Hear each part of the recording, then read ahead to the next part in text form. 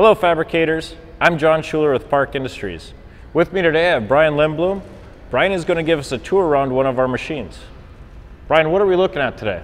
Today, John, we have the Crosscut Deluxe. Um, this is a dedicated miter saw. It does one thing and one thing only, which is clean, accurate miter cuts. First thing I notice about this machine, Brian, is a small footprint.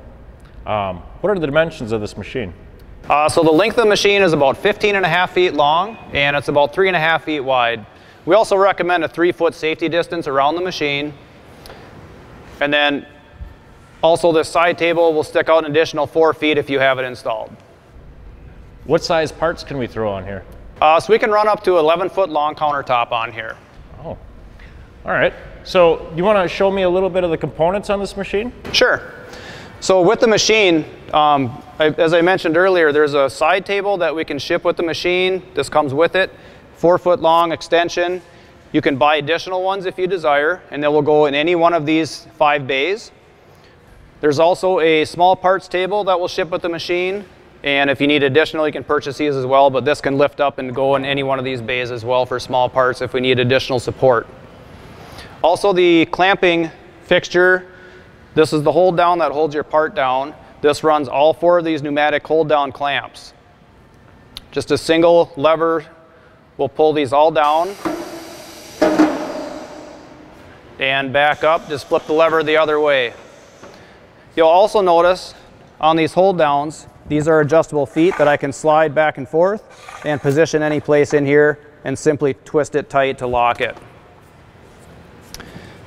Another feature of this Crosscut Deluxe is we have an automatic travel stop that we can position anywhere along this rail so we can have the, the cross travel the machine will stop wherever this is once it hits this stop. If I come around the back side of the machine, I'll show you a few of the components back here. So you notice we have a bellow cover that's going to cover the whole linear rail for the cross travel of the saw. Uh, we have a proven gear rack and pinion drive design down here. And if we come down here, you'll notice we have a seven and a half horsepower VFD controlled arbor so I can control the RPMs on this saw. We have ample water cooling with these Loc-Lines and fans to get adequate water supply to our blade for cooling. And some of the maintenance on here is real simple too because we have a, an oiler on the side of the machine and this is all piped to the bearings so I simply just press the lever down and release it and that's going to lubricate all my bearings on the machine. All right, Brian. So what size blade can we run in this thing? So the machine's going to ship with a 14 inch diameter blade. Uh, like I said, it mounts real easy on this VFD. Uh, simple shield to pull loose and then pull your arbor nut loose to change blades and put it back on. Brian, why is a why is a VFD important on this machine? Uh, VFD is very important for we, we can run different types of blades to cut different types of materials. Porcelain and porcelain, Dekton, like granite, quartz. We want to have that capability of adjusting my RPM to accommodate those materials. The operating station looks pretty easy. You want to show me how to run this thing? Sure, it's real easy to run. Um, all we're going to do is turn our power switch to on and that's going to turn on our two displays here. So our top display here, this is going to control our VFD arbor and it's easy to adjust with our arrow down or arrow up. Gives us our display and RPMs here. And this second display down here is for my travel speed for how fast I cut. And these have different values that we can control also and we can make fine-tune adjustments to go up or down in these values too for different feed rates. All right, Brian, that didn't look too bad. Um, should we throw some parts up here and make some miters? Yeah, let's make some cuts.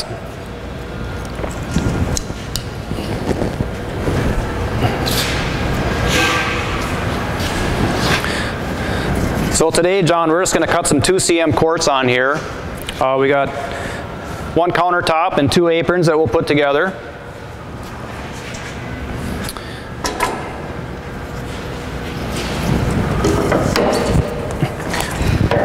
And you want polished side down? Yep, we're going to do polished side down for these. So another nice thing that we can do on this saw is I can cut multiple parts at once. There's just a stop here that you butt them up against, right? Another yep. square. Exactly. Okay. What uh, what angle are we going to cut for the miter? What can we do with this machine? I should ask. So the machine is capable. We can go from a 43 up to a 47 degree angle. So we cut just past 45 for an outside miter like this. For your inside corners, you would just do polished side up, I suppose. Yes. So let's go ahead and uh, we'll clamp this down. This right here. Yep. Okay. So I said we, we talked about how easy this is to run, and I kind of changed my mind. I was going to run through this demo, but I think I'd rather just have you try it and see if you Oh, remember wow. kind of what I talked about. I'll be here for help if you need any help. I'll give it a shot. So we're simply just going to turn the arbor on by pressing the forward button. Then I'm going to turn the water on for you. So we have water. We want to make sure we have the water turned on. And I got the speed set already. All we're going to do is turn the dial to the X plus, and the machine's just going to start cutting.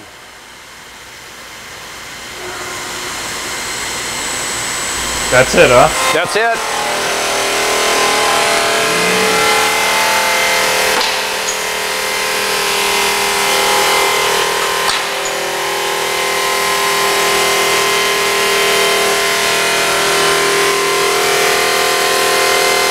Brian, how fast are we going? Uh, for this one, we're cutting just over 40 inches a minute.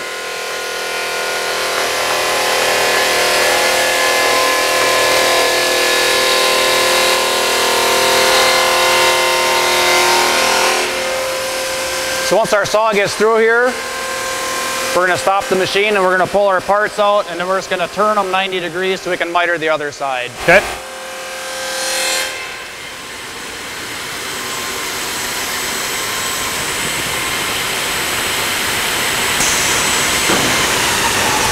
Why don't you go ahead and turn that water valve off for me? So we're going to pull our pieces away and then we can get the saw to move back and then we're going to turn our pieces 90 degrees and then make the other two cuts. So right there is good.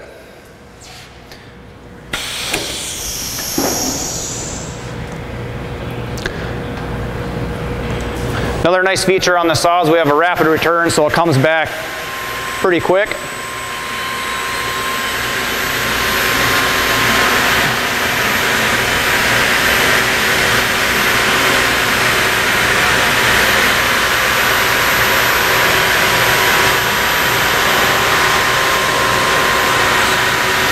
So once our saw's back at home, we can raise our clamps back up and then we're going to position our parts in here.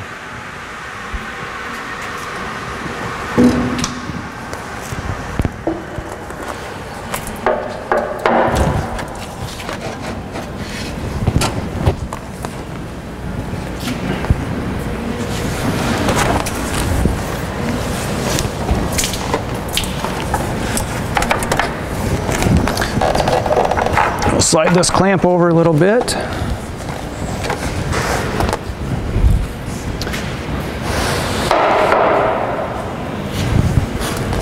I'm just going to slide this one over just a little here. Bring this one down. And I think we're ready to go. So why don't you go ahead and drop the clamp for me again.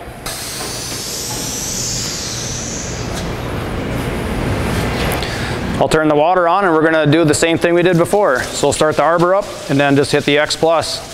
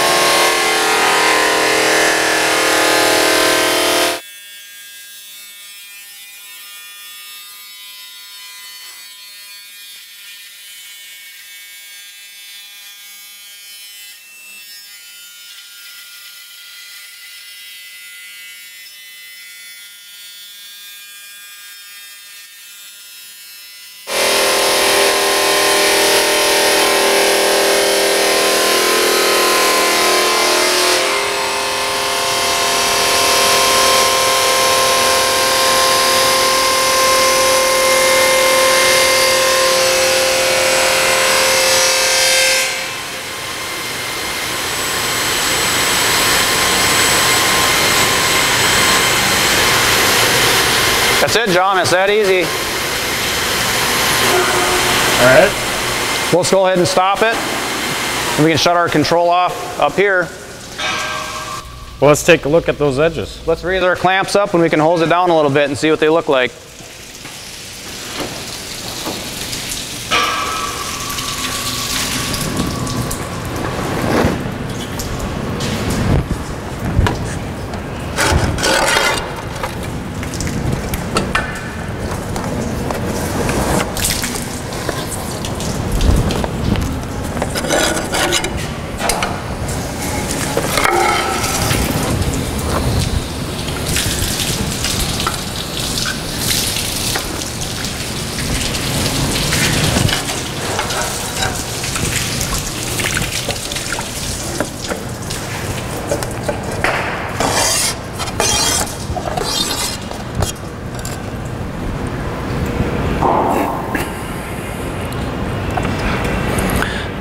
So as you can see, we got nice, crisp, clean miter edges on here. And if you even look at the top side here, we got just a nice edge on there. How fast were we going? Um, we're going over 40 inches. We're probably pretty close to about 52 inches a minute. Well, let's put these pieces together and see how they fit. Yeah, let's do it.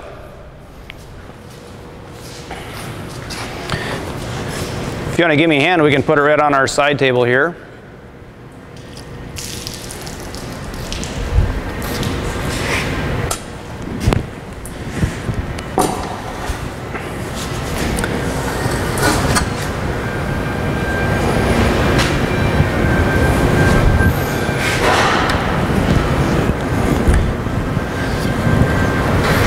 Let's just carefully butt these up here.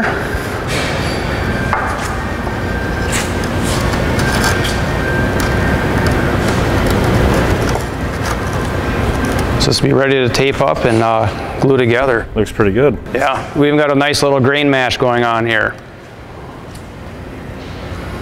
Impressive, Brian. Yeah. So this was the 2cm quartz that we had cut through here. Um, we're running this at about 52, 53 inches a minute uh, with our granite and quartz blade. We also had another, uh, another piece that I ran through earlier with the porcelain blade that I put on here. That's why that VFD is important, so I can Okay. control the RPM on that blade. So this part, Wow. I had uh, some 2cm, or uh, sorry, 2 inch drop aprons on this. This is a 12 millimeter stone, so it's about a half inch thick.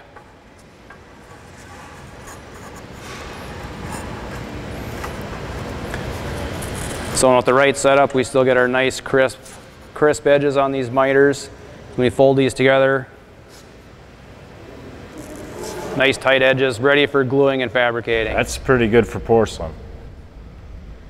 Especially since this material is getting more and more popular, and a lot of this stuff gets mitered anyway because it's so thin. No chipping. Good.